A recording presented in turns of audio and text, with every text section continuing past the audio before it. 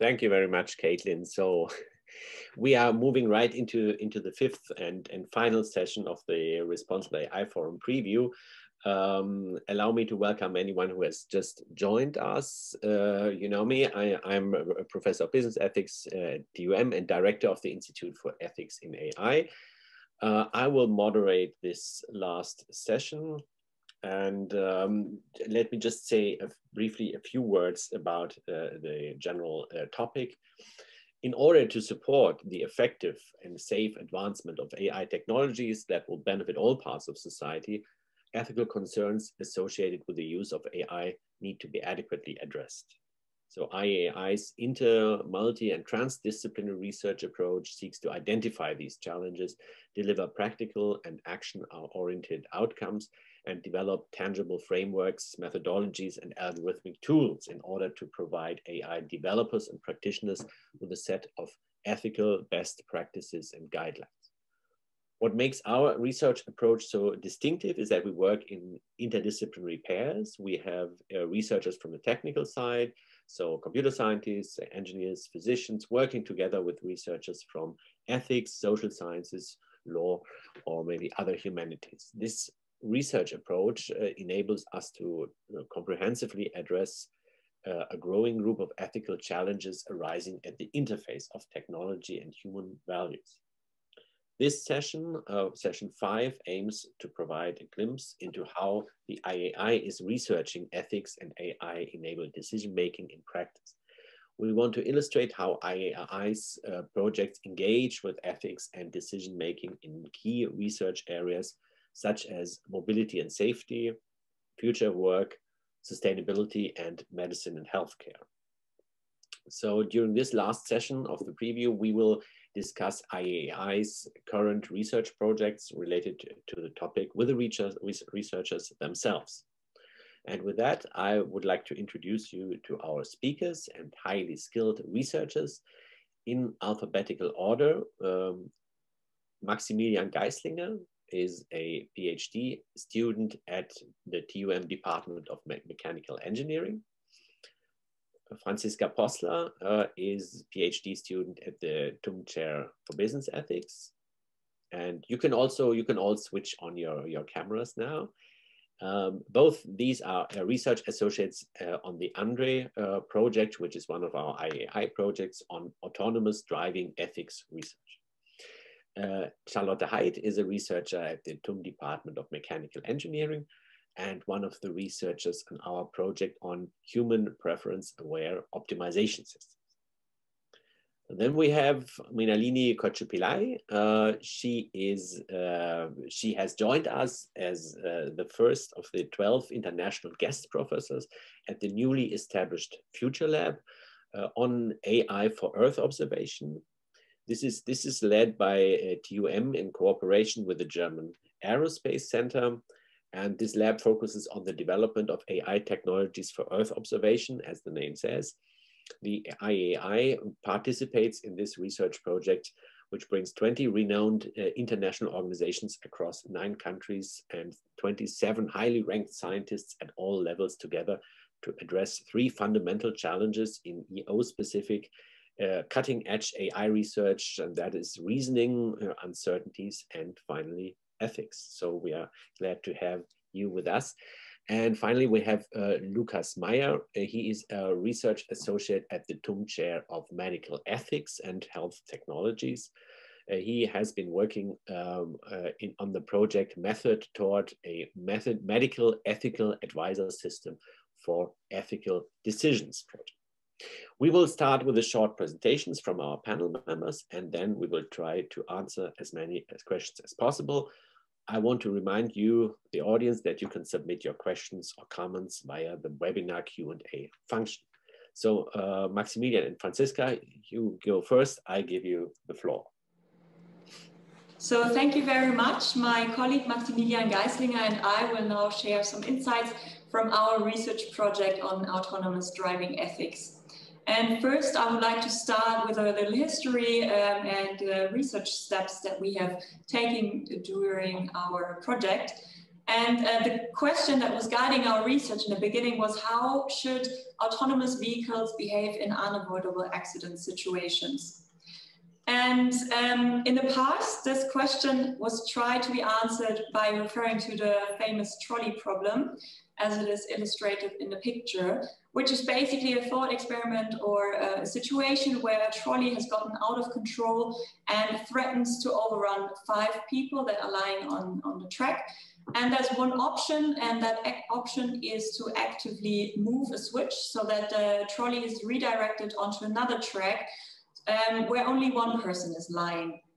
And the ethical question that arises in this situation is whether one person's death can be um, acceptable to save the life of five people.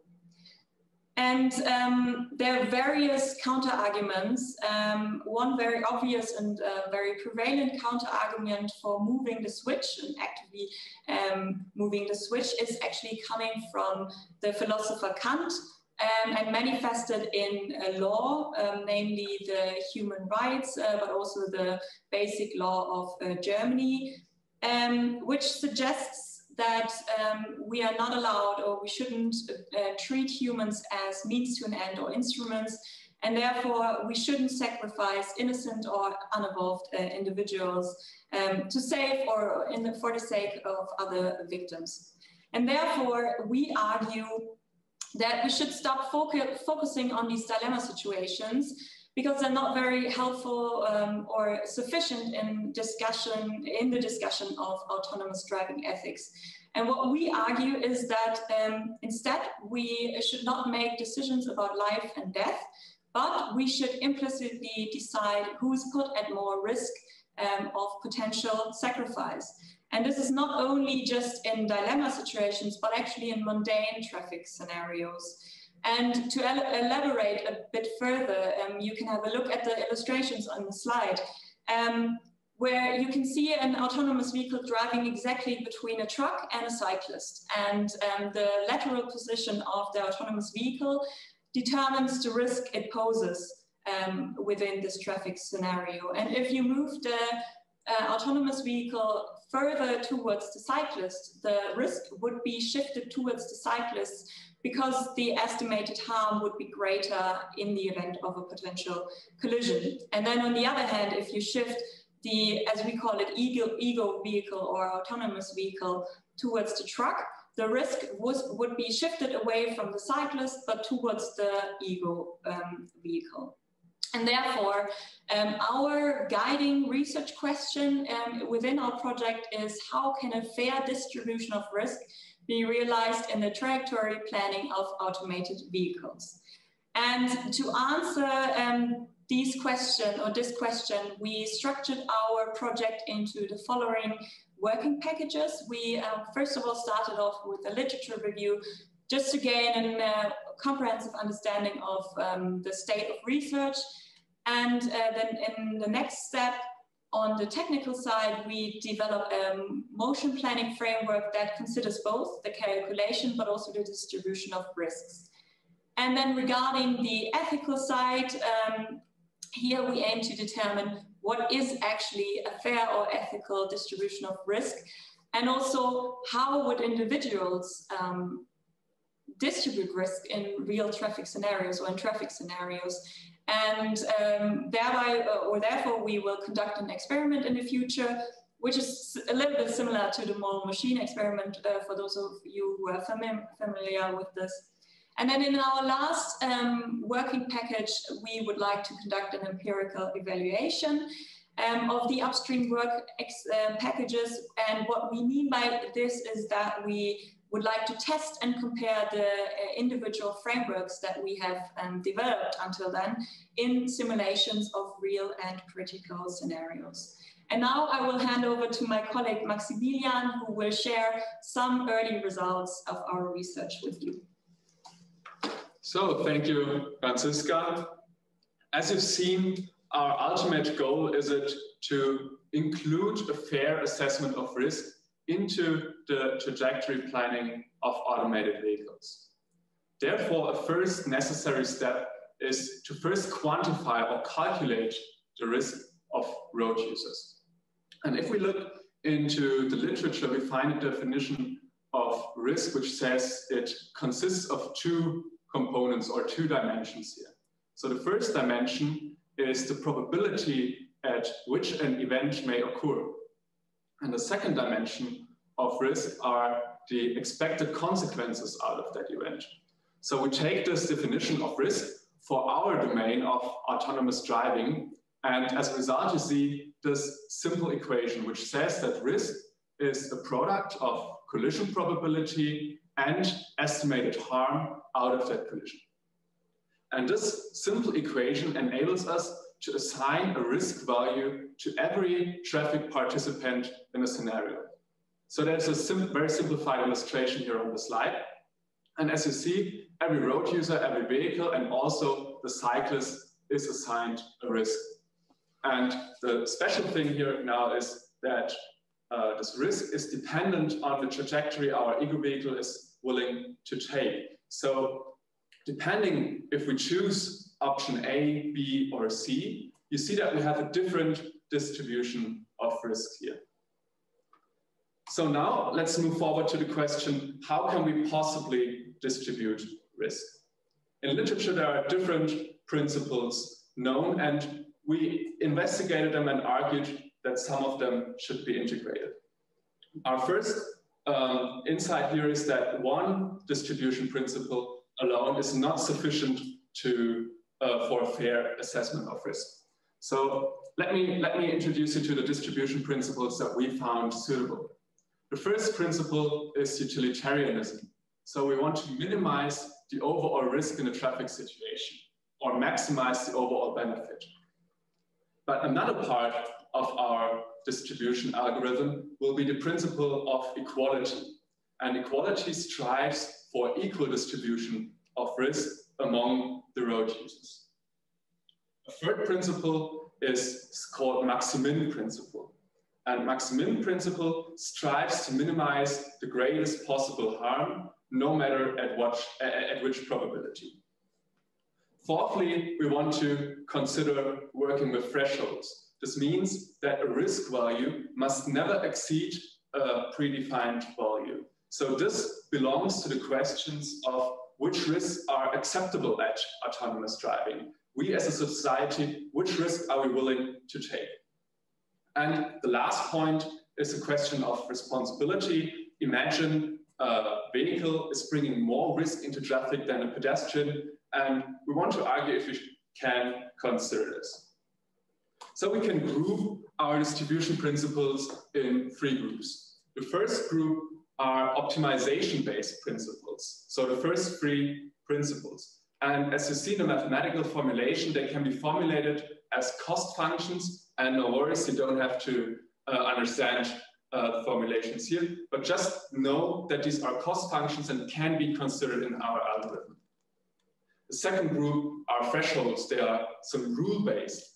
And so here we can use some validity checks in our AI program, where when um, threshold is exceeded, maybe we have to um, execute some kind of emergency trajectory. And uh, the last point, responsibility, will be subject of future research because at this moment, we do not have a measure for responsibility yet and do not know how much responsibility uh, can be assigned to every road user. So finally, with this approach, we hope to move forward in bridging the gap from theoretical concepts to real software AI um, for autonomous vehicle. At this point, thank you for your presentation and looking forward to the discussion. Thank you very much. Um, so now we are switching to our second uh, presenter, Charlotte Haid. Okay, um, thank you for the brief introduction before Professor Lütge. Um, I'm working at Professor Fottner's chair for materials handling, material flow, and logistics in mechanical engineering department. And our um, research partner from ethical side is Professor Büthe, who is the head of the chair for international relations. And our research project is about a human preference aware optimization system. And I will give you a brief insight on the next slides.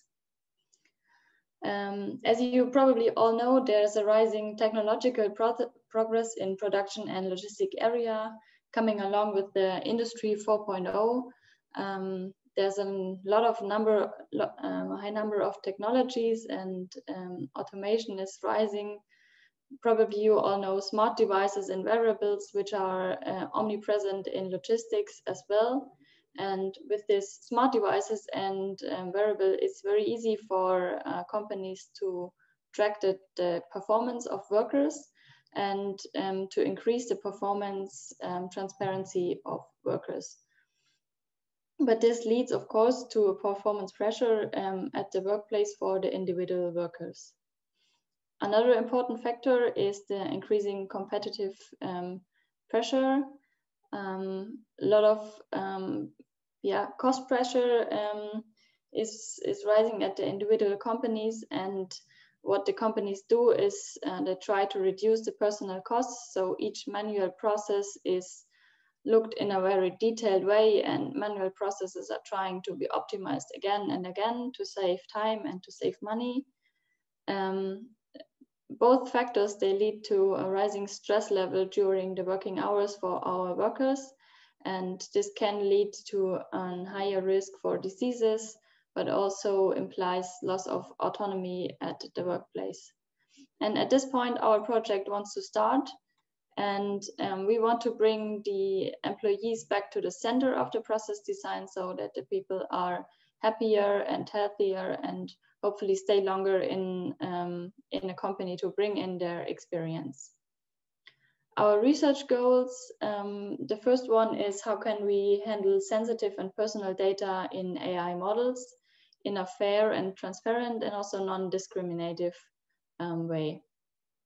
The second one is, of course, we want to involve the employees um, back to the processes and we want to investigate how can we how can we um, bring the preferences into um, an optimization system and to yeah to support the preferences of people um, and overall we want to develop design guidelines and rules for optimization systems where we have those personal preferences um, inside during the summer, we, we made some first expert interviews um, to get requirements for our human aware optimization system. Um, and I want to briefly um, give you an insight on those, on those requirements. Um, when we think of the process and the data in logistics, um, the process, of course, needs to um, be manual. So a worker should be inside and the activity the worker is doing should be um, repetitive. So he's doing the same over and over again. Um, this is, yeah, um, combined with the with second point, similar conditions in the processes. Um, we need to ensure comparability between the workplaces and between the work workers um, to optimize our process overall. And of course, when we're talking about data, we need to ensure um, that we have data and we also need to ensure that this data is of high quality um, to use in, in our optimization methodology. When we talk about the optimization methodology, um, most of our experts said the most important thing is that we are transparent and fair. So the workers should understand um, what we are doing, what's happening with their data, and um, yeah, what factors are influencing the results. Um, furthermore, we should allow statistical outliers, which means, um, for example, if you have a bad day and you're not performing so so well, it's okay to have a bad day, and um, this should not rate you down um, in your in your result. It is okay. Everyone has a bad day, and we should respect this in our optimization methodology. And of course, overall, we want to increase our um, the well-being of our workers and of our working teams. And then we, when we think of um, bringing such a system into, into a company, we have to discuss or we have to talk about the corporate culture. Um, and one very important thing we have here in Germany is um, the Works Council. Um, so the work, Works Council, he's representing the um, the, the, the, the workers and um, their opinions. And when we want to bring an optimization methodology with AI into a company, we need to involve the Works Council and we need to involve um, the workers themselves.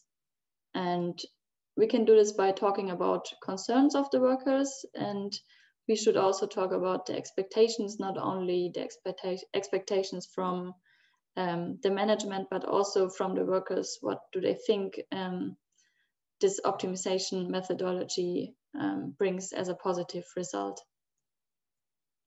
And um, on my last slide, I um, brought some ethical aspects or some ethical thoughts um, we have so far in our um, decision making AI and logistics. And as I mentioned before, the first one is we should definitely ensure transparency and fairness is one of the most important points um, for, for working with optimization. And um, coming along with this, we should avoid unintended system usage so that manipulation or um, any misusage is um, not allowed or not possible. Um, of course, when we're talking about personal data, there are legal boundaries that we have to respect and that we have to be compliant with. Um, and when we talk about data, the, data needs to be of a high quality to be um, that we can use them uh, at all in, in AI models. On the left side, our thoughts are more about um, uh, workers and um, First of all, we should allow temporary performance fluctuations, which I, which I mentioned before. Having a bad day is okay. And um, we should also consider personal circumstances, like, um, for example, if a worker is having problems at home, like getting divorced or having a sick person at home, we should uh, consider this. And we should also consider the, the physical conditions of individual workers. And overall, we, we don't want to have any competition between our employers, but we want to support the team thought and team building, and we want um, we don't want to have any discriminative competition between um, employees in our system. And um, yeah, that's um, the points from my side so far. Thank you very much for the attention. I'm looking forward to the discussion afterwards. Okay, thank you very much. So now I'm handing over to Mrinalini Kochupillai. Um, you have the floor. And may I uh, start with requesting all our participants to participate in a little online survey, just so I know who all are in the audience. Okay. So you need to just go to menti.com and use this code to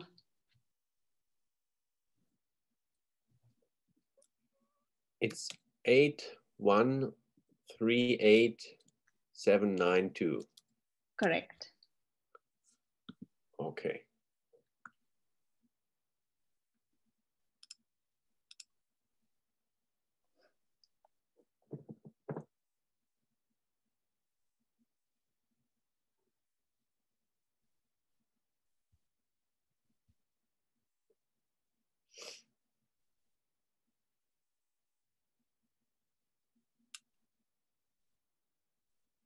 Nice.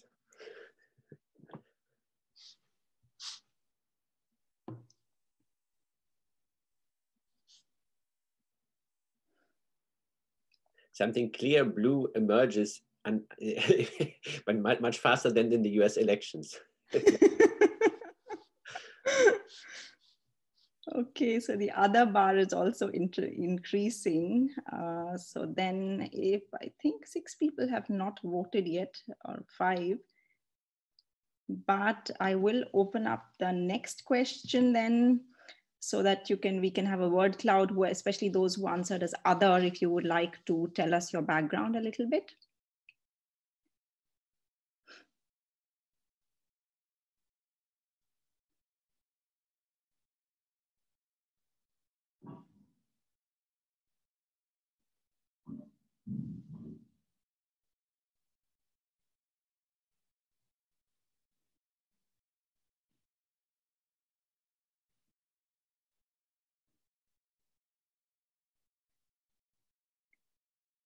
Okay, so there's a lot from business administration, philosophy, and consulting that's coming out to be, and AI. Okay, generally AI. It's good. Okay.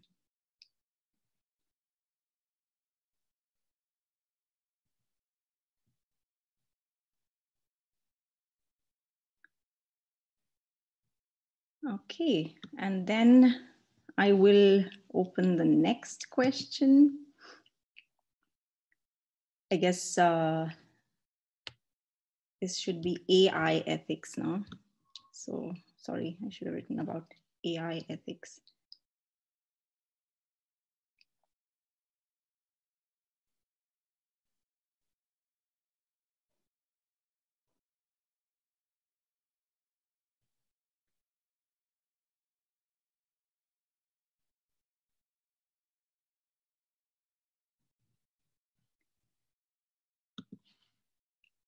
All right.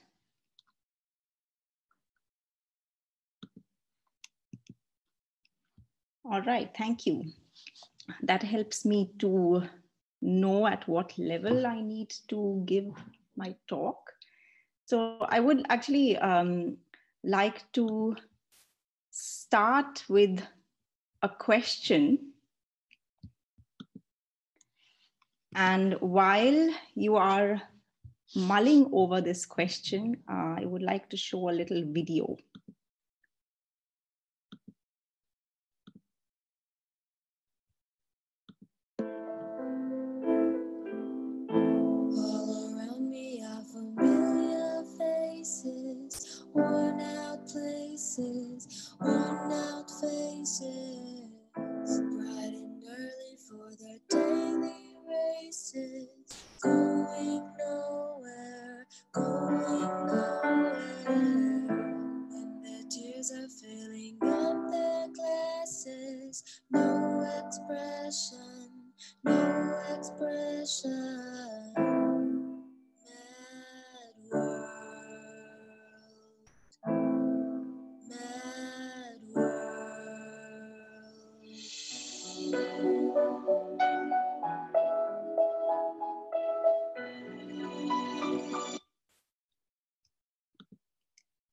So this is actually um, an area of research that I am just getting into, and it's about labeling.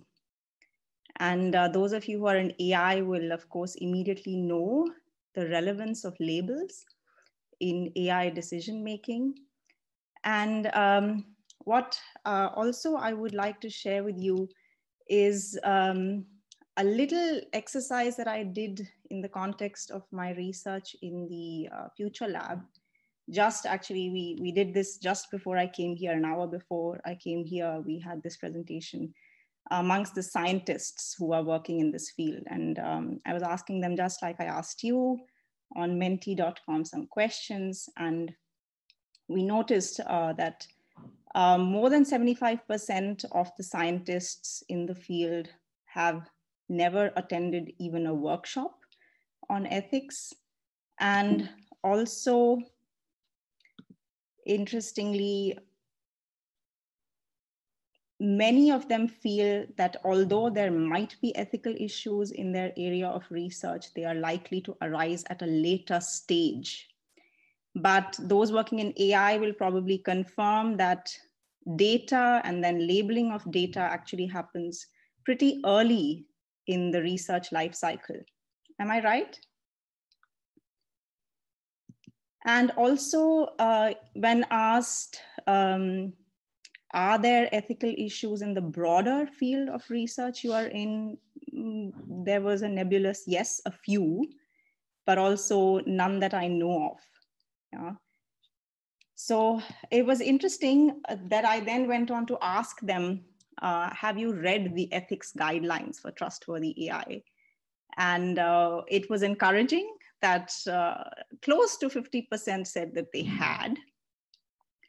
Also, um, it was encouraging that at least those who hadn't read uh, the ethics guidelines for trustworthy AI, they also had read some other ethics guidelines in the field of AI or Earth observations, or at least within remote sensing. Now, for me, more interesting was are these guidelines practically useful for you for your everyday research? And here you can see where the problem starts coming up. And um, interestingly, I just, uh, while I was doing my literature review, came across a recent article that reviewed 22 AI ethics guidelines, in the field of, um, um, you know, different aspects of AI, but attempting to create large scale or comprehensive guidelines for AI. And there was an experimental research done with people who did read these guidelines and those who didn't. And that research showed that the guidelines do not serve as a basis for ethical decision making. And primarily, ethical considerations are mainly used for public relations purposes. And operationally, these guidelines are completely effectless. So um, it was fascinating for me uh, that uh, while we have all of these issues, as you can see, you know, their, their review highlighted that these 22 ethics guidelines identify all of these issues in the field of AI, ethical issues. Uh, they find that 82% of these guidelines focus on privacy, fairness, accountability, explainability, and robustness or safety, most of these issues can be addressed by technical solutions. And the guidelines primarily highlight those problems which are um, uh, accomplishable or overcomable by technical solutions.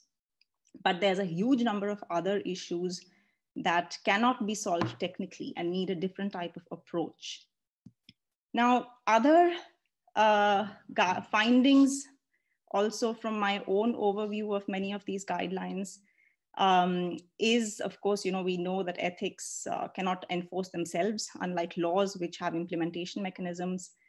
And uh, often this just leads to a lot of discussion and no actual action uh, in public.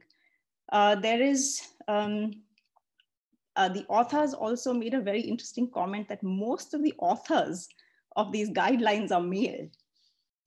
And uh, accordingly, then ethics of justice, this whole focus on technical solutions to ethical problems um, uh, in the literature, as opposed to a more comprehensive, well-rounded approach to resolving issues is very much lacking, what they call the ethics of care.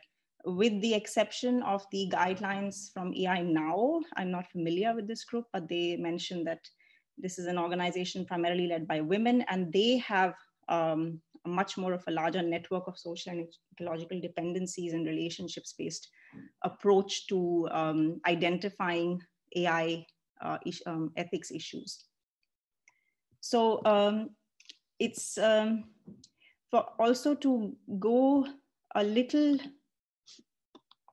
towards the specific area of research that I'm, since I spoke about labels to begin with, um, I wanted to show you one area that I'm focusing on with an academic uh, researcher who is an expert on uh, labeling and particularly labeling for identification of slum areas. You know, so if you see this, this image, there's four different resolution images and all of them can help you identify slum areas. But as soon as you identify or label an area as a slum, immediately there are issues of stigmatization. And when we talk about uh, labeling at this high level or large scale, we are not only talking about individual stigma, for example, that might come with mental health labels, uh, but really about stigmatizing a whole area of people. More problematic is when we start labeling areas for criminal activities. So AI labels are now used for crime detection or, or, for even predictive purposes to determine where the next crime is most likely to occur. And this creates a pretty incredible vicious cycle of um, more law enforcement agencies being sent to those areas. Often these areas in the USA might be economically underprivileged African American localities. And the more law enforcement in those regions means more crime detection in those regions. And this leads to a vicious cycle of deeper and deeper labeling. So the question that I'm dealing with now with uh, in the context of slums and also in the context of broader AI research is how do we create more responsible labeling on one hand? And second, how do we promote more of this ethics of care where ethical issues that go, go beyond technical solutions that cannot be resolved by technical solutions how can we address them in ethics research. That's all to begin with, and I'm happy to take questions. Thank you very much for your great presentation. And uh, we have the final presentation by Lukas Meier. Yeah. Yes, good, we see it. All right, hello, can you hear me okay? Yes. Perfect. Okay, now on to something a bit more practical, I'd say, an ethical advisor system for the clinic. Uh, next slide, please. Okay, that's the overview. Since it's only a very brief presentation, uh, I won't be able to go into, um, that was a bit too quick, one back please. um, I won't be able to go into too much technical detail, but well, let's see how far we get. Okay, the problem, I'll, I'll mention the problem uh, that we are trying to solve. Um, then the ethical foundation of the algorithm with which we try to solve the problem, how we train the algorithm, algorithm and I'll also present some preliminary results. Okay, now next slide, please. Okay, what's the problem that this project addresses? Clinical ethics committees have a lot to do. They get many cases they have to um, solve per day, uh, per, per year. Um, on the one hand, and on the other hand, there are ethical situations or ethically relevant situations in the clinic that demand um, decisions on on uh, on a very big scale and within short time frames. Uh, next slide, please. One of those situations the world has just witnessed uh, or is being witnessing at the moment, which is a uh, COVID crisis where scarce resources like ventilators have to be allocated uh, to a high number of people. And this allocation takes time it would be good if, if we could somehow use computers to help us with this task. Next slide, please. Um, but even in, you know, in non-emergency situation, it would be very beneficial if algorithms could help clinical uh, ethics committees in taking their decisions. Uh, what, what kind of decisions are these? Well, those are decisions at the beginning and the end of life. Shall we switch off patient X or shall we abort a baby? Um, it happens when, when people refuse beneficial treatment or when they request treatment that is actually non-beneficial uh, for them. It's about confidentiality issues. Shall we tell the husband of patient X about his conditions or is, is this uh, a private matter? And so forth. So those are the, the, the dilemmas that appear in the clinic. Uh, next. Okay, so what could be one solution? We could try to, to set up an algorithm that takes these decisions, or at least some of those decisions, maybe those are, which are not as complicated. And it'll certainly be, certainly be more quickly uh, at taking those decisions. Whether it's also more accurate, that's a different question. Next. Okay, so the first question that appears might be familiar for those who've witnessed the other talk on autonomous driving, um, because it's unclear which, which ethical theory should underlie the algorithm, because there's just no consensus, not for countries, not worldwide, not in theory, not in practice, uh, whatever. So there are at least three big ethical frameworks, and this, this picture on the right is from the moral machine, which was mentioned already. And uh, this project conducted a big uh, survey, the moral, the moral uh, machine project, about, I don't know, 2,000 people or so. Um, and this is a classical situation, situation. So should the car kill the passengers by driving into a wall or should they, should the car kill the pedestrians?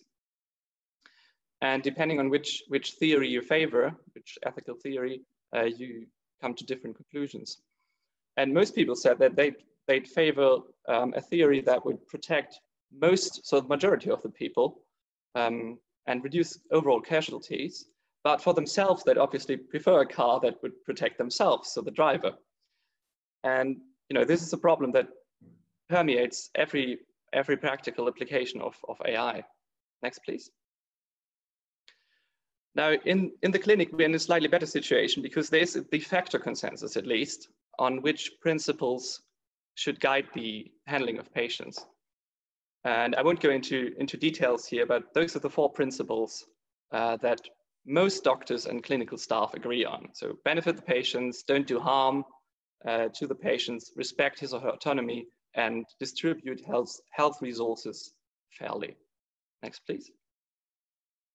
Okay, so this is this is one problem problem we don't have to solve, which makes it much easier than yeah in the case of our fellow researchers uh, who have to find an ethical theory guiding their autonomous driving at least.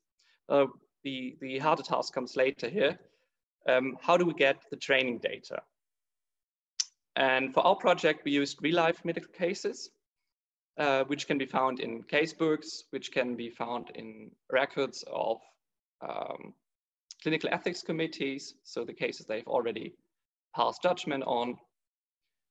And the question is then, uh, how many different cases, case types do we include? And shall we, all, shall we include all four principles that I've just mentioned? And so far, the principle of justice is, is a bit problematic, at least for us, because all countries, or every country, handles those things things differently, right? Um, the healthcare systems differ widely uh, among countries and it's not that easy to, to find a common standard there. And some cases might also be excluded because they, they would skew the data set uh, into a certain direction and those are better left to human, uh, well, proper human ethics committees. Next, please. Okay, so this is, this is how, how a data set looks like for, for algorithm. This is the input data. So we built like 25 or so categories um, of parameters that the doctor would have to enter about his or her patient so that the algorithm uh, can assess the case, so the patient's autonomy, um, the expected benefit this uh, intervention is supposed to bring, the harm that it might bring about, and so on and so forth, so that the algorithm um, gets a proper, well-rounded picture of, of uh, the case. Next slide. Okay, so this is this is uh, how the inner workings look like, or what the inner workings look like of the algorithm. So it learns to to attach different weights to different principles in different situations. It's a bit too complex, I suppose, to to explain this in within five minutes. But the idea is that um, the weights are not predetermined. So there's no principle that takes absolute priority, but the algorithm algorithm has to find out itself um, which is the guiding principle in, in, in which individual case.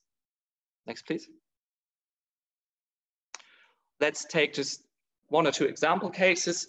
So here we have a 15-year-old patient uh, who has been suffering from leukemia for previous nine years. Um, she could gain an additional life year uh, if she continued uh, chemotherapy therapy, but this would also reduce her quality of life. So often in, in, in medical cases, there's a trade-off between uh, the quality of life and the prolongation of, of uh, life itself. And in this case, the, uh, the patient, so the child, prioritizes life quality over the extension of life. So um, she wants to die at home peacefully and uh, wants to relinquish her chance for, for this additional year of life. And then the question is, should the intervention be attempted since, since the patient has not reached the age of majority so is, is she competent enough to sort of end her life prematurely if she could, uh, could also get therapy? And to the right, you see uh, the output of the algorithm, what it looks like when, when it uh, yeah, considers this case. And you see that it changes over time. And the, the dotted line at point two is the ground truth we've entered. So this is what, what we as ethicists, ethicists think that um, which would be the right decision here. And in this case, it works perfectly. So the algorithm, uh, I don't think you can see my pointer, but the algorithm hits the, hits the line perfectly. But it's not always the case. Um, but this is a particularly uh, well-functioning one. Next slide, please. So this is a different one just, just to present you with cases in which the algorithm sort of fights with itself. In this case, we have two decision makers. So the patient himself is unconscious and his advance directive which he has written, let's say, five years ago. So says, do not, do not resuscitate. If I'm in a bad state, uh, do not attempt to save my life. But the sur surrogate decision maker says, maybe the husband, uh, please resuscitate. This, this directive is too old, is not valid any longer. And so there's a fight going on inside the algorithm. Um, next slide, please. This is the performance. So just an, an early preview so far we have a deviation from our uh, humanly specified solution of 0.1. So that's pretty accurate so far. Um, but we have to see when we, when we enter more difficult cases, maybe the, the deviation will increase. But so far it's, it's working pretty well actually. Next. Okay, what is there left to do? We have to create a user interface.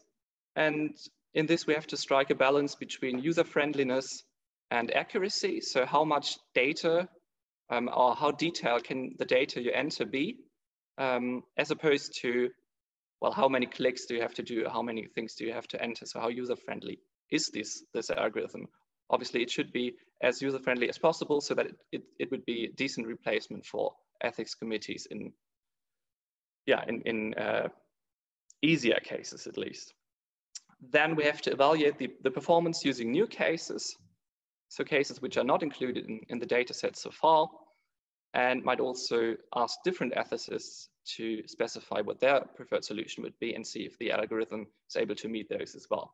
And finally, we want to test this thing in, in the clinical or in the clinic, clinical practice. Uh, next or final slide.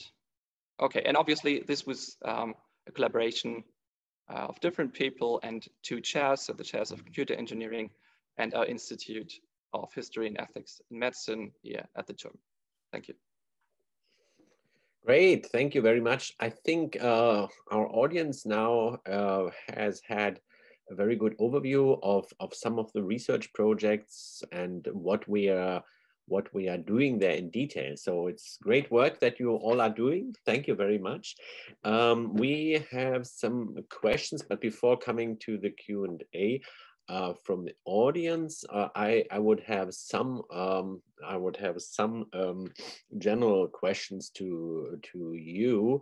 Uh, maybe starting uh, with the autonomous driving project, um, since this is this is an area that I'm quite quite familiar with, um, and my uh, my question is actually how do you see um, what are the companies doing? I mean, there's there's a lot going on and there are also um, i mean in, in, a positive and as well as in a negative sense uh, we have heard recently that uh, Daimler is going to back out of autonomous driving. That's is their official policy, um, as announced by the CEO a couple of days ago. Uh, by BMW, there has been an announcement which was not exactly the same, but also indicated something to, in, in that direction. Uh, on the other hand, we still see that they are doing some efforts on the, continuing doing efforts on the lower levels of autonomous driving. How, how do you see uh, what are companies going to uh, more or, or, less in the near future? Who wants to say something about so, that? Uh, yeah, thanks for that question. So first of all, what we saw during our study is that there was a time um, when this question of who to sacrifice in case of an accident was pretty much present. And uh, some companies also told, yeah, we will always save our passengers. Um, so that was also a point where we thought we should start our research because this cannot be considered as fair. Um, right now, as you said, also in, in, in Germany, um, especially, um, companies are not focusing on, on level four anymore. Level four is the level where um, the algorithm is not in charge of, of uh, the driving task, but we, you always have a human driver uh, in it. And yeah, so these, these ethical considerations does have somehow moved to the background. But on the other hand, if we uh, look to, to the United States, for example, we have Tesla there, who developed a, a level two plus officially um, driving assistant, but which is used as a level four assistant then we see that we have the ethical problems right there. We have accidents there, people died over there, so they're, they're much present, but um, yeah, we have that two sides in the companies right now. And also um, what you already mentioned that um, some companies are starting to think a little bit more about ethics and how to integrate it into autonomous driving. And um, one example which you mentioned, I think already, is that BM, um, W, for example, uh, referred to the um, high-level expert group and the trustworthy AI guidelines as um, something they want to rely on in the future. Um, so I think there's some efforts that are going forward in, in the endeavor of um, autonomous driving ethics also on the company side. Um, but also what we heard in, in an earlier talk was that the ethic guidelines seem to somehow be um, ineffective or not effective in some situations.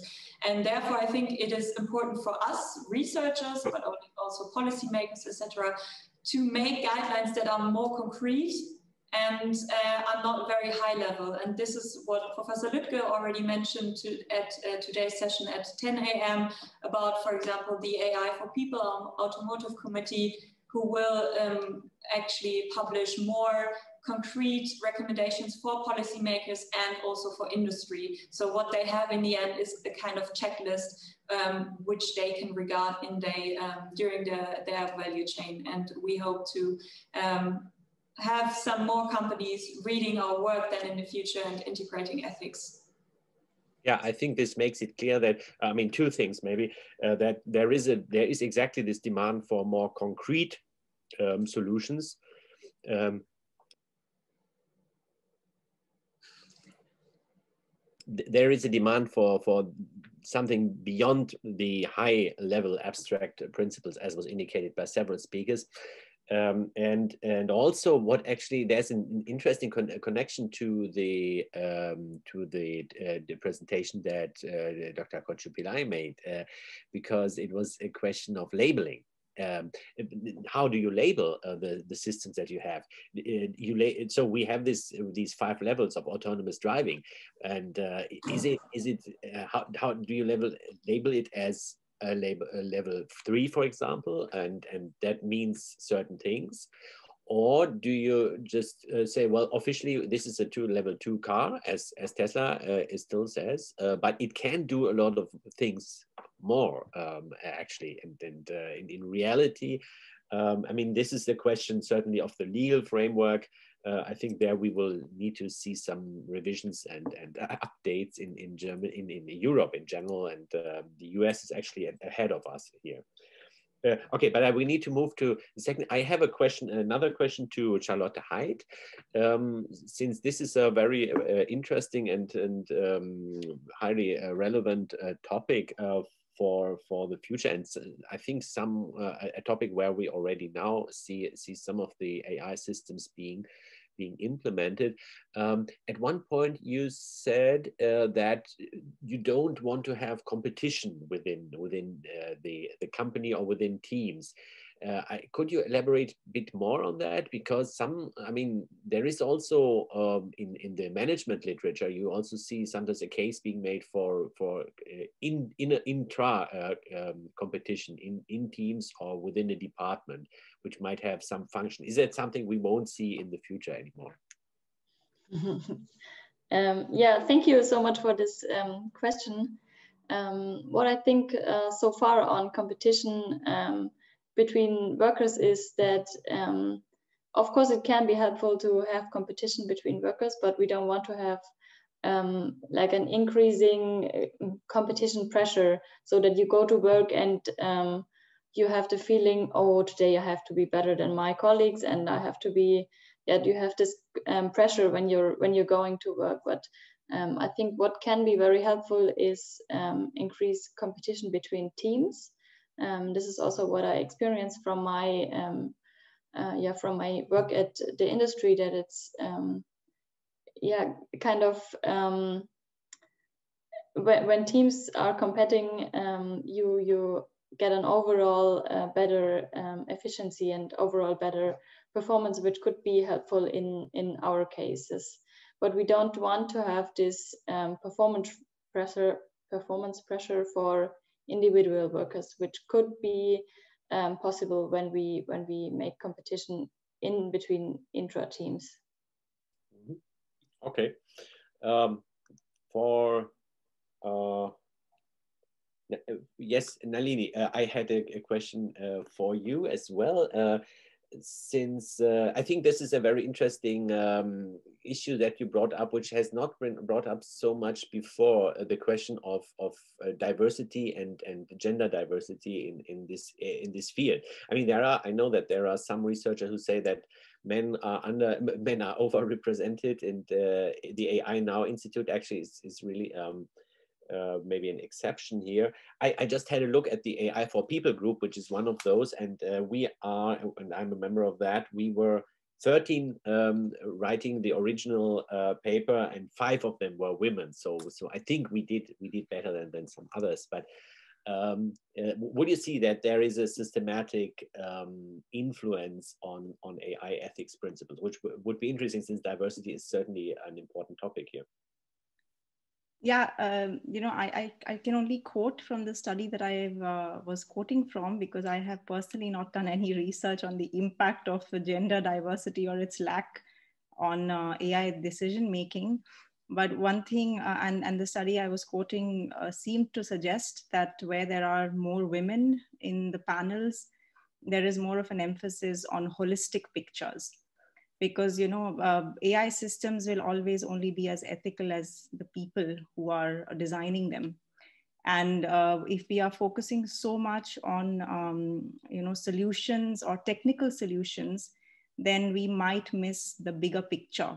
And this bigger picture is sometimes um, a concept that can be brought in by if not a woman then at least a more feminine or caring way of looking at things and here, one of the issues, one of the approaches we are considering uh, recommending when it comes to labeling of areas, whether it be for labeling slum areas with uh, when we are doing um, urban mapping using Earth observation data, or if we are using um, maps to identify areas where there is more criminal activity, to turn around the labeling process to more affirmative action oriented or supporting labeling as opposed to um, you know preventive labeling or um, you know stigmatizing labeling. So in areas which are currently labeled as slums if we were to consider that they are slums for a reason that means they are economically deprived or they're living in very bad living conditions then to call through that labeling for uh, specific action that requires governments to take affirmative actions in those areas to improve or give more economic funding so that the stigmatized stigmatization effect is not there but rather you know people are happy to get more economic support.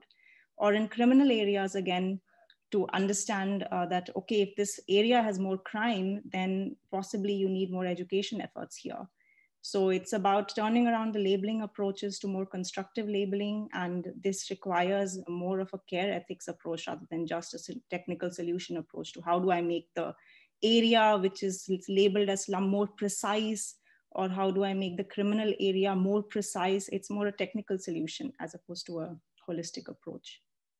Yeah, I agree. I think that that's very important to see that the, the technical approach will not solve this problem and, and, and many other problems as uh, of AI likewise. I, I think this is this is something that that uh, already companies and other organizations are realizing and, and realizing that they need these other uh, competencies in their in their development teams. Um, by the way, I, I wanted to uh, highlight again that, as was said in, in, in the beginning of our last session, actually, uh, that uh, we as the Global AI Ethics Consortium have now um, members from all six uh, continents actually in, in, in this consortium. So I think th this is very important to have. Uh, uh um, so in terms of, of um, uh, diversity around the wor world. So otherwise you do not get the full picture and you do not get so many uh, valuable contributions actually. Yeah, um, so we have, uh, so one more question to Lukas Meier. And here I pick up uh, one of the questions that was used in, in the chat already. Um, so here there is a question, uh, who, someone did not fully understand the last part of your talk and asked you to elaborate a bit on what the relationship between clinicians' decision and ethicist solutions uh, is. For example, in the first child end of life care case and, and included uh, the, uh, and in, that uh, includes the question, how can algorithms help here? Okay, so ethicists versus um, clinicians? Well, normally um, treatment decisions are taken by doctors, and, and still the doctor um, bears full responsibility for, for the decisions. Um, but in you know in, in very complex cases or in, in, in cases that are in cases where there are parties that, that disagree, then they can call in the clinical ethics committee um, to to give advice. And yeah, this this committee is the is um, is the place where the algorithm should replace at least well some decisions, right? So not on on on the level of the physicians or doctors, but on the level of the committee. Still, the doctor, even in the normal clinic, the doctor is still the, the person who makes the final decision, but uh, he or she gets recommendations if if needed from from the clinical ethics committee and these committees are staffed with um, um, jurisprudence doctors nurses um, philosophers chaplains sometimes so they they combine uh, their expertise from different disciplines to help with those decisions and this expertise can then be um, sought after by doctors or um, yeah, clinical staff or family members of, of the patient. And this is where the algorithm is supposed to help. Great, thank you very much. Um, is there um, is there another question? No, we well we have more questions in the chat, but uh, maybe first um, since since I like I like the topic of autonomous driving so much, uh, let me uh, go back to that group. Um, and um, here's here's another uh, question uh, for you. Um, do you think uh, those problems that you sketched, the ethical problems, which are not the trolley problems, not the well, they are not the main problems that will be uh, relevant in in the everyday uh, practice. Um, but uh, rather other questions of, of risk um, management and, and risk weighing. Uh, is that something that uh, could be solved only by regulation uh, or could they be solved by, uh, by uh, ethical guidelines on the companies themselves? And um, I'm not saying that there is an either or. I think this is a misunderstanding of, of much of AI ethics and governance that is either companies are fully on their own and develop their self-regulation. Uh, or uh, we have a top-down regulation coming from the government. I, I, do not believe this is this is uh, a good picture to, to put it. It's, it can be somewhere in between. Uh, but here again, these these questions that you mentioned of, of risk weighing, is that something that companies could solve if there is no regulation, since we are waiting for that regulation also for, for a long time already? So as I said, there are no regulations at the moment and companies don't have any incentive to think about this topic right now from a from economic or governmental or uh, law perspective. So um, talking about the question of risk, we also thought about right now we are developing our ethical risk-aware algorithm. And now the next step would be how can we ensure that this algorithm will be used or um, and what we thought about is we cannot force companies to use our algorithms or our equations that you saw here.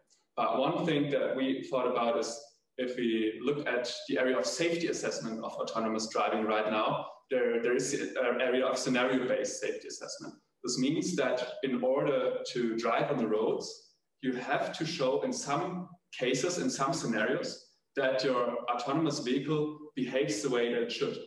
And maybe this could be also a way for us at the end to find some specific scenarios where we can showcase that we have that desired behavior here or not. And this could be a way to, to derive some regulations out of our work. But our first step right now is to first get, get the idea of what an ethical algorithm consists of, and then at the next steps, how can we formulate this as something where uh, car manufacturers or company have to include it. And then what could be possible uh, external, like maybe oversight mechanisms, for example, if there are no regulations in place, that, um, for example, from our results, the recommendations that we make, that then companies uh, need to make some sort of conformity uh, assessments or external audits to show that they um, comply with, with what has been suggested and what is ethical in that sense. I would like to pass uh, this or um, slightly translated question on to others, uh, maybe to Nalini. How, how do you see the, the relation between AI regulation and AI ethics in, in, in your work? Um, is there something that you can say, well, in, from a general point of view, do we need um, more regulation? Do we need regulation first? Because that's always that's always a question here. Uh, in many areas, uh, historically, many areas of technology uh, regulation, it took us a while to arrive at, at, those, at the at the right rules, at the adequate rules. Um, but here, uh, many are calling for for very fast regulation, although we might not yet have all the information about the systems we have. So, how do you see that? Uh, thanks, Christoph.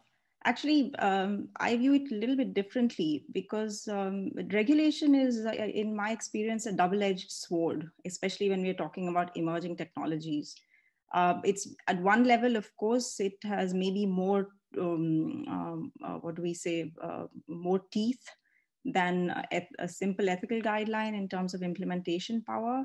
But on the other hand, because, just because it's an emerging technology and we don't know where it can go, what all it can accomplish for the benefit of humanity, too much regulation will just um, uh, stymie the development of the technology itself in beneficial areas.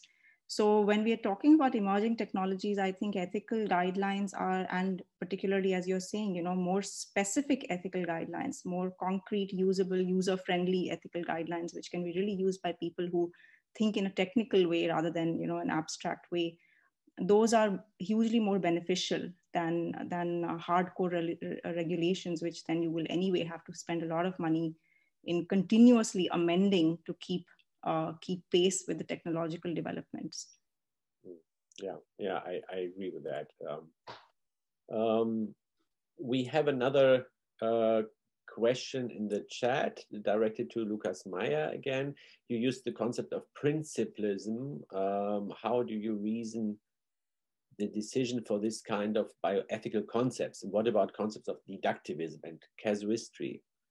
Uh, or other concepts like Daniels, Gewirth's feministic or narrative concepts. Can you say something about that? Yeah, thank you. I can.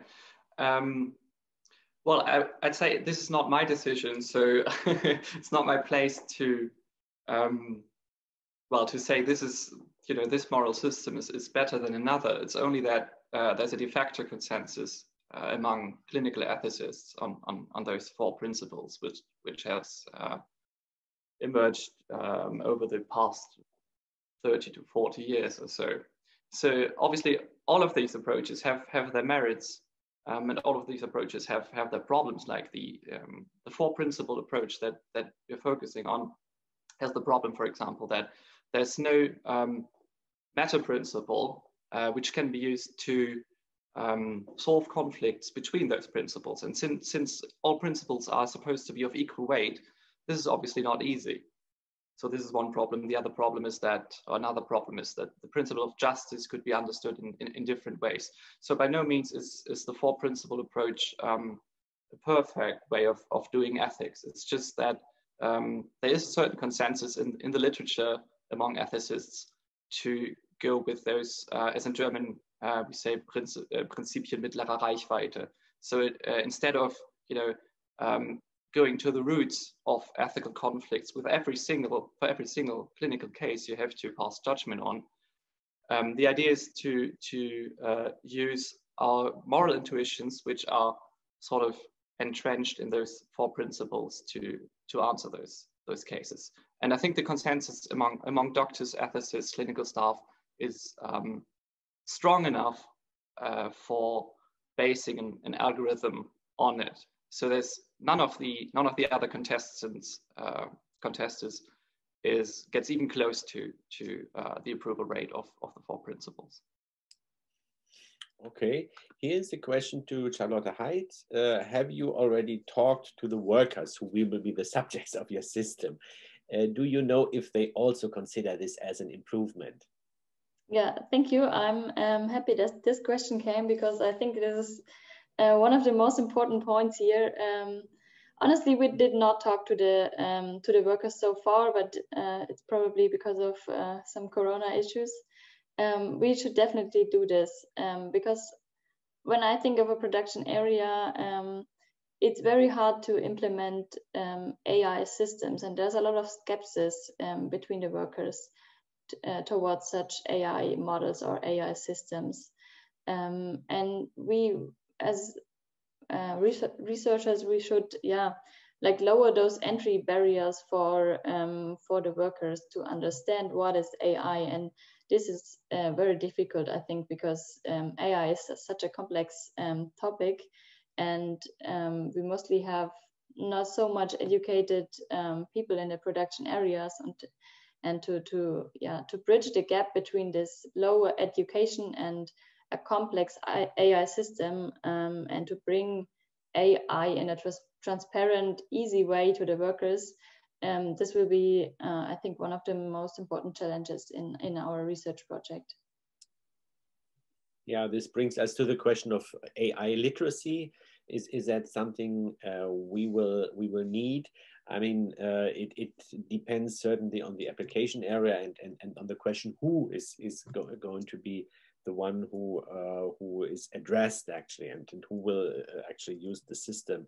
But um, I mean, this, this leads us uh, to one of the main principles of AI ethics, uh, which is in there in, in many of the of the um, principles that have we have seen um, around the world in the last two years. This is explainability um, and or explicability as it's sometimes called. And um, uh, I, I, would like to ask any of you who, who, um, uh, who ever wants to go first, how do you see the role of, of explainability or explicability in, in your domain? Who would like to say something about that?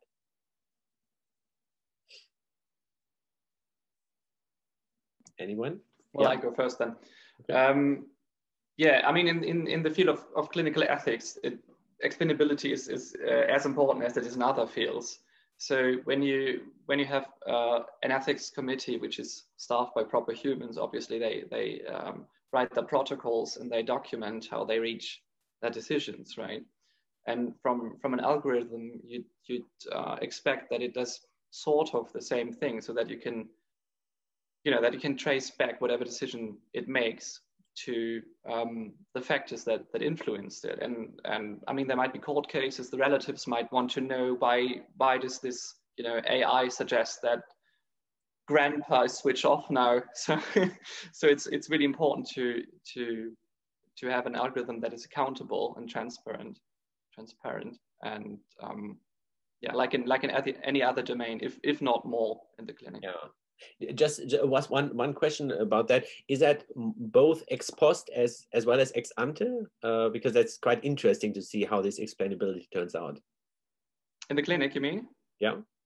Um, if possible, yeah, that that would be that would be great if that that were possible. I mean, it also depends on on on the inner workings of the algorithm. Obviously, if yeah. you have neural networks, uh, explainability will be very low, as will be trans transparency. Right. So, um, but yeah, if possible, obviously bidirectional.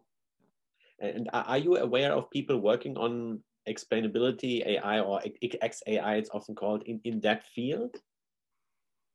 Not specifically. I mean, we're trying to, to, to incorporate it in, in, in our project or to, to honor it rather. I mean, it's, yeah. it's a by, byproduct, but I think there's nobody, nobody working on that, that issue in particular because we have in, in one of our other groups, which was uh, presented in in, uh, in one of the sessions yesterday, we have people at uh, the chair of uh, Jens Großklags, for example, working on an explainable AI in, in particular, and and of, I guess that that would also have some some implications for other areas. Okay, anyone else who would like to say something about this? Yeah, sure. Um, in in our area of autonomous driving, we also experienced the problem uh, of explainability as, as being there for sure. Um, if we take a look, we, we have bottom up and top down approaches. Bottom up means I have some kind of database approach where I have a neural network that learns some behavior. And those are very, very hard to explain them. And I want to emphasize that this is not only an ethical problem, for sure it is, but at the moment it is also a technical problem. Because if we use algorithms that we cannot explain, this also means we cannot ensure that their behavior will be, will be right in a technical sense. So imagine um, your neural network in an autonomous driving algorithm outputs some, some, some random stuff and, and creates an accident. So this is also a technical issue, but for sure also an ethical one. And that's why we were focusing on, on top-down approaches to run not into these technical issues here. So that's why we think it's important to find principles top-down, keep the explainability, and what's also important for us are these, these weighting factors. We are looking for them between these principles, um, but this is also um, transparent to other road users if we say, okay, this principle of utilitarianism is more weighted than the other principle of equality. For just, just to give an example, we're not uh, there yet that we can uh, make some make some uh, assumptions, but um, just to give an example here. And um, this is like during the programming uh, phase, but also during the operation then of uh, the autonomous vehicle, there surely um, should be, and I mean in the um, normal vehicles that we see on the street uh, streets now, there also there are logging mechanisms or black boxes included um, or integrated into into the autonomous or into the vehicle, and this should surely um, be also in the autonomous vehicles. Um, so that in retrospect, you know, for example, what were the underlying reasons for an accident and things like these. And um, I think some uh, organizations are already uh, working on like standards that uh, include these like minimal um, data um, elements or element sets that should be recorded during the operation to make um, more visible, more transparent and explainable what happened and how um, the vehicle functions. If I uh, can give uh, another viewpoint on this, uh, you know, I think uh, whether or not explainability is demanded, if we look from the user end or from the other end, uh, it might be very much a cultural question because uh, maybe because I come from the East where we, uh, we don't believe only in logic, but there's a lot to do with intuition. And uh, when, if you've heard the story of the great mathematician Maha, Ramanujam, he uh, had he developed volumes and volumes of mathematical formulae just on intuition and when he reached uh, trinity college and was asked to give proofs for those uh, algorithms or, or those um, mathematical relations he said i just know they're right and uh, we had hardy at trinity college then working with him to bring him down from that level of intuition to the level of logic uh, mm-hmm. to ex- to find proofs for his uh, uh, equations, and most of them turned out to be correct indeed. Uh, but I think when we are not talking about human uh, intuition, but computer-based logic, then logic I think should definitely be explainable, and uh, it might, however, take time to reach that level of explainability, and until then, we, we have to go with some trial and error to allow for the technology to progress. I think that, that that might be a very interesting connection to make between the the way we try to mm, explain or make explain ex, explainable um, the results of AI systems with the this intuition based uh, approach. Uh, I, I think there's there's a lot of uh, potential for that, I, I would say, since um, eventually we might be, uh, especially we as saying as Westerners, uh, might might be uh, might have to uh, do with some approach that is not not so purely logic based. I think that there is a there is a case for that to be made. Yeah, very interesting. Um, uh, okay. Uh, Frau Haid, would you like to say something also on this or um, the question of explainability? I mean, for us, it's also a very important topic, explainability. Um, I think we we are a bit um, like behind the autonomous driving and um, other um, other showcases. Um, for us, it's yeah more the, the transparency and fairness topic at the moment we are talking about, and we are trying to build our algorithm in a way that it is uh, transparent and explainable from the beginning. And uh, yeah, of course, it's an important topic also in our um, area as well. If we think of robotics, for example, Um, but uh, yeah, we okay. can dis discuss another time, I think. Thank you very much. So um, I, I, just have one final question um, uh, for you all, because this is uh, about um, the way the Institute works and, and about how I think AI ethics should work in general. How do, how, what is your experience with interdisciplinarity? Uh, how challenging is it uh, for you to work with people from different backgrounds?